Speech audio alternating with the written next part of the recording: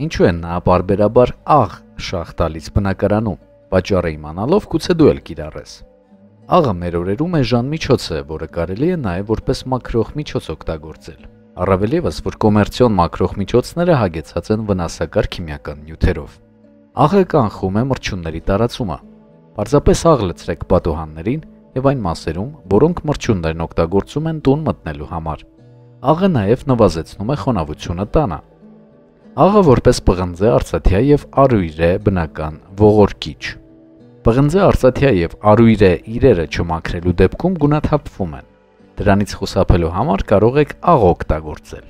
Աղով եւ խնձորի քացախով խառնուրդ պատրաստեք եւ սրբեք մակերևույթները, ինչեւ դրանք փայլեն։ Այս բնական միջոցով կմաքրեք կեղտը եւ բծերը։ Աղը տան եւ ավտոմեքենայի պատոհանները մաքրելու բնական միջոց։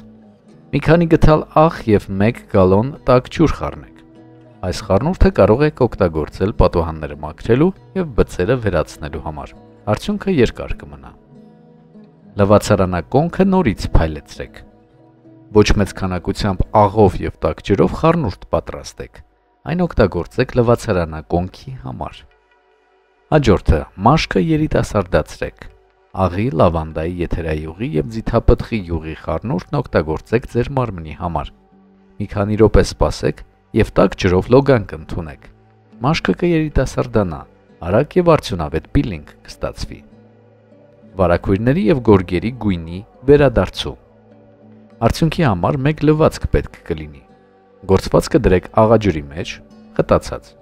Լուծույթի մեջ թրջված կտորով սրբեք գորգերը, շերտավարակույրները ատամների բուժում։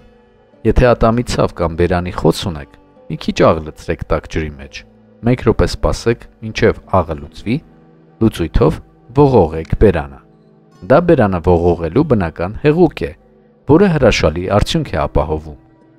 Հաջորդը՝ ատամների սպիտակեցում եւ բերանի խորոչի հիգիենա։ Հավասար քանակի կերակրի սոդա եւ աղ վերցրեք ատամների սպիտակեցնող միջոց ստանալու համար։ Խառնուրդ նոր բացանկացած ժամի օգտագործեք։ Լավացրեք հագուստի լվացքի արդյունքը։ Մի քիչ աղ լցրեք վերջին լվացքի մեջ հագուստը կծկվելուց պաշտպանելու համար։ Դա առանձնակի օգտակար է, եթե հագուստը չորացնում եք արևոտ օրը։ Հագուստը իդեալականորեն մաքուր եւ փափուկ կլինի։